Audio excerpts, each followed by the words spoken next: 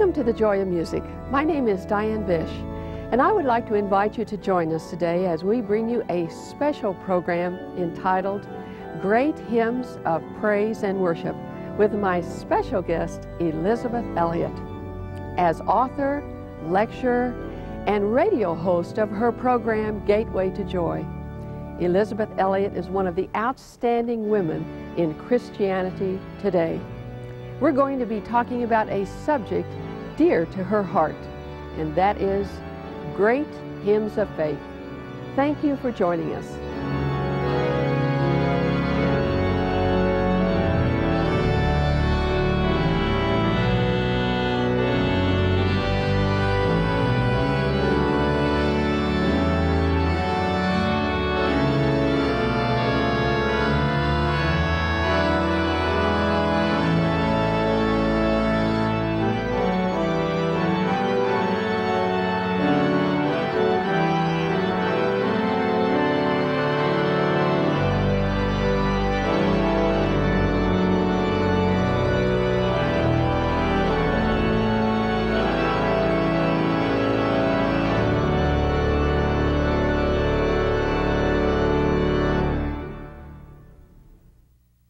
We're speaking with Elisabeth Elliot today about great hymns of the church. And along with knowing the words to so many wonderful hymns, she also travels around the country and the world speaking to groups and churches, is an author of many books, and also has her own radio program, Gateway to Joy, which she tells me uh, is on five days a week. I know you have a, an audience of millions, but how do you do all these things? Well, by the grace of God, obviously. Uh, they're just things that sort of have been thrust upon me. I, I never dreamed of even being a writer, let alone a broadcaster. It's just the mercy of God, that's all I know. Uh, it was about 11 years ago that people at Back to the Bible in Lincoln, Nebraska asked me if I would consider doing a radio program. And so I've, I've been doing it ever since, and it has been a tremendous blessing to me because I get wonderful letters from people who tell me that it has been helpful to them. And I get a lot of sorrowful letters as well, and I'm able to encourage and, and help people. And so, um, as for how I do it, there are times when I think to myself, I don't know how I do it because I'm a housewife. I do cook and iron and clean toilets and do ordinary things that any woman does. And I have a husband to feed um, I have a radio program as well, in addition to my radio program. I have a newsletter that goes out. It's called the Elisabeth Elliot Newsletter, and that's under the auspices of Servant Publications in Ann Arbor, Michigan. Then, of course, there's always hanging over my head preparations for my next broadcast, whatever that may be. And by far the biggest job that I have is correspondence, just the, the letters that come to my own home. Those take the biggest chunk of my life. And all I can say, Diane, is that every single day I get up, I know the things that I have to do, I know that there will be unexpected things, and I also know that the Lord's going to help me. And so I just find myself walking around the house going from one thing to the other saying, the Lord God will help me. And this is from Isaiah 50, verse 7. The Lord God will help me. Therefore shall I not be confounded, and therefore have I set my face like a flint, and I know that I shall not be ashamed. And I learned that verse back when I was a teenager, and I heard a woman doctor named Virginia Blakesley, a missionary from Africa. She, talk, she told about some of her hair-raising experiences in Africa. And whether she said it only once during that whole week or every single day, I don't know because it stuck so completely in my mind, and I will never forget the intensity with which I saw that woman, tears pouring down her face as she leaned across that pulpit, having told us hair-raising stories. But she re she repeated this wonderful verse in this way, and I never forgot the way in which she said it. The Lord God will help me. Therefore shall I not be confounded. Therefore have I set my face like a flint, and I know that I shall not be ashamed. And that has become one of my life verses.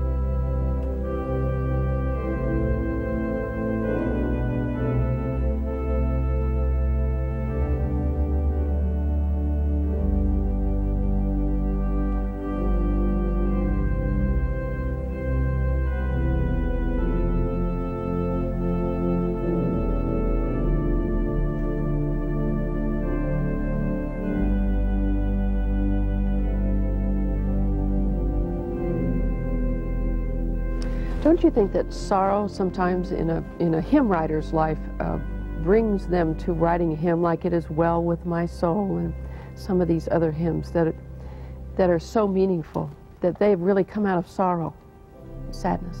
Many people know the story of what happened to the hymn writer Horatio Spafford and what it was that galvanized him to write this most beautiful hymn. When peace like a river attendeth my way, when sorrows like sea billows roll, whatever my lot, Thou hast taught me to say, It is well, it is well with my soul. And the billows had certainly rolled over that man, Mr. Spafford, because he had sent his wife and four little daughters on a ship where they were going to England, and he was to meet them later on another boat. And the ship on which his wife and daughters were sailing went to the bottom. Only his wife of that family survived. And I had the privilege of meeting the fifth child in that family who was born after this disaster. And so she was the only one of the four other children. And she was in her 90s when I met her in Jerusalem. We had tea together. And she told me that her mother had told the story of what had happened when she was thrown into the ocean and desperately trying to get a hold of her four little tiny girls. She was able only to touch the hem of one of the dresses of the little girl, and she was not able to grab it.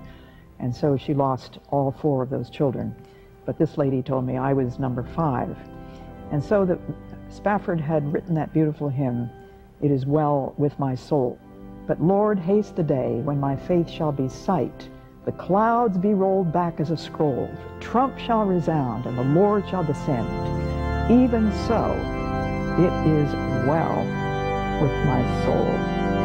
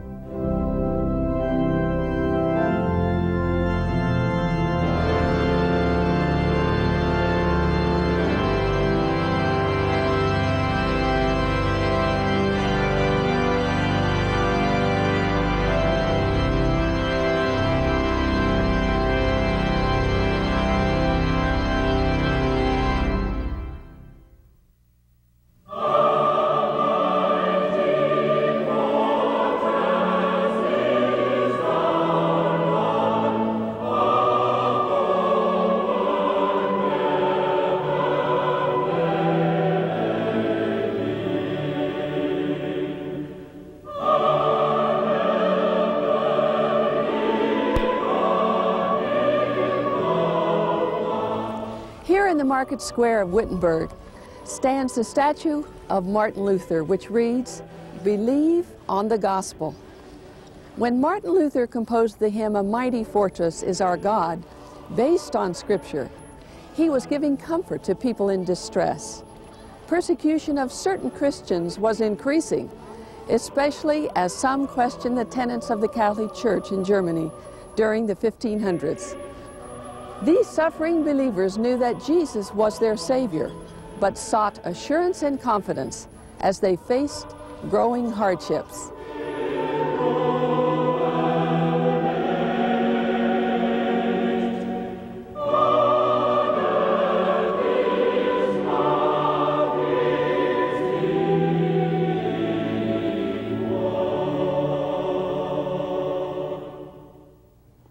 I've heard you speak about uh, on your tapes about hymns, Come Thou Almighty King, Fairest Lord Jesus, A Mighty Fortress, some of these great hymns that bring to us our heritage in the Christian faith.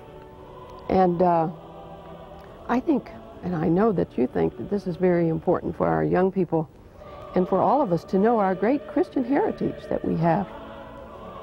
A mighty fortress is our God. It's one of Luther's great hymns, and this too has been a bulwark to me in dark times of my life. Our listeners probably would not know that I have lost not one but two husbands. My second husband died of cancer, and I can remember singing this hymn with him. He also knew and loved hymns. He was a good deal older than I, so I don't think he ever knew what praise songs were. But the words to A Mighty Fortress are so powerful. A mighty fortress is our God, a bulwark never failing. Our helper, he amidst the flood of mortal ills prevailing. For still our ancient foe doth seek to work us woe. His craft and power are great, and armed with cruel hate on earth is not his equal. And of course, this adversary of mine of ours is the devil himself. Did we in our own strength confide, our striving would be losing were not the right man on our side, the man of God's own choosing. Just ask who that may be. Christ Jesus, it is he. Lord Sabaoth, his name. That means Lord of the armies of heaven. From age to age the same, and he will win the battle. And though this world with devils filled should threaten to undo us, we will not fear, for God hath willed his truth to triumph through us. The prince of darkness grim, we tremble not for him. His rage we can endure, for lo, his doom is sure. One little word shall fell him. And of course, that would be the word of God that can fell our adversary Satan. And the last stanza says, That word above all earthly powers, no thanks to them, abideth. The Spirit and the gifts are ours through him who with us sideth. Let goods and kindred go, this mortal life also. The body they may kill, his truth abideth still. His kingdom is forever. And we can hang on to that, can't we? Well, that's a whole sermon in itself. It certainly is.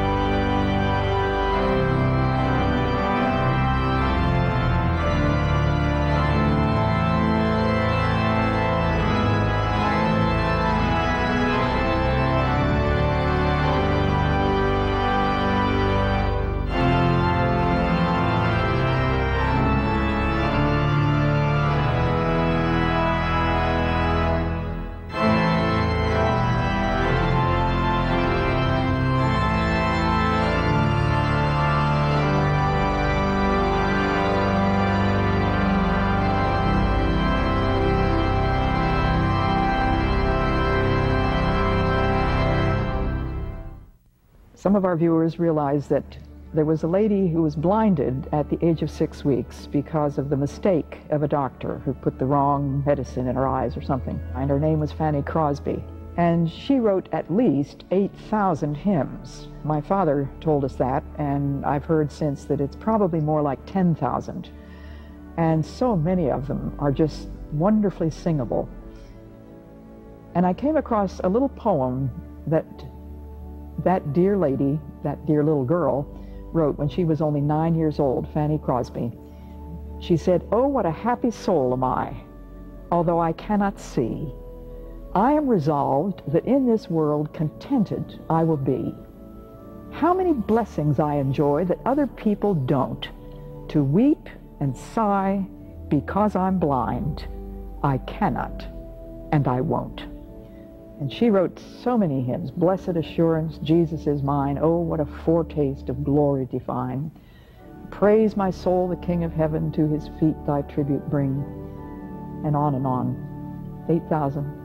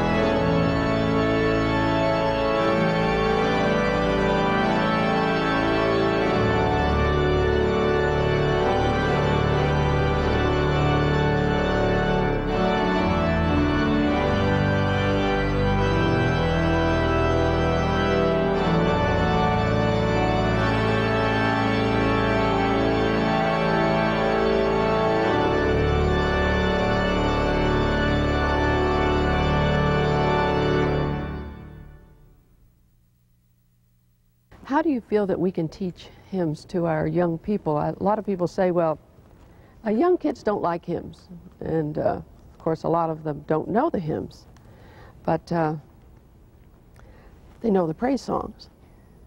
Well, the only reason they don't know the hymns, Diane, is because nobody's taught them. That's right. If all they're being taught is the praise songs, which usually is shown on a screen overhead, um, of course, we can't blame them that they don't know the hymns, but I think it's, it behooves the pastors and the teachers in the Sunday school, and as many other adults as may still know what hymns are, to make a point of teaching these children.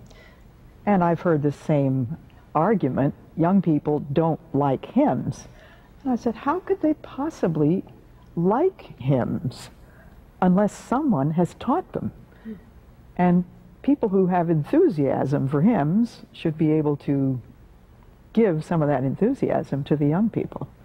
Young people love music, there's no question about do. that. I think most of us recognize that it is more difficult to memorize uh, prose than it is to memorize poetry.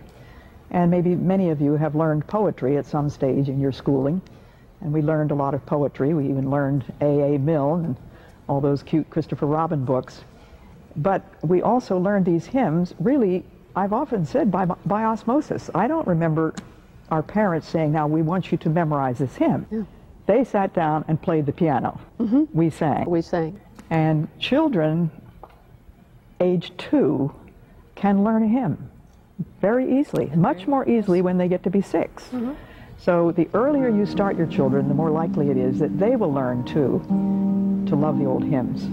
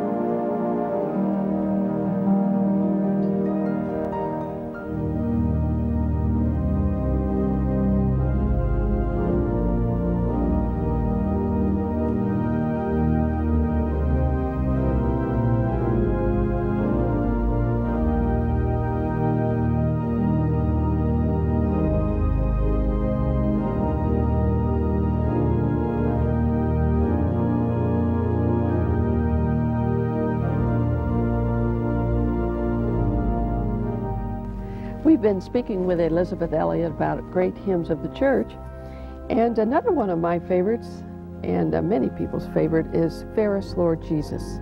I love that one too. Fairest Lord Jesus, ruler of all nature,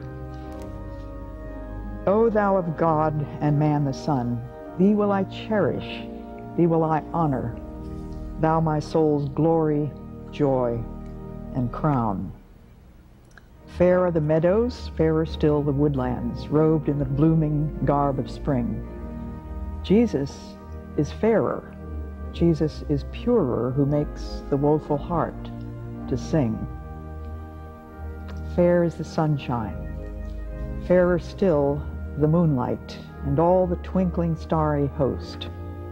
Jesus shines brighter, Jesus shines purer than all the angels heaven can boast. And then there's the last stanza, which is not in many of the hymn books. Beautiful Savior, Lord of the nations, Son of God and Son of man, glory and honor, praise, adoration, now and forevermore be thine.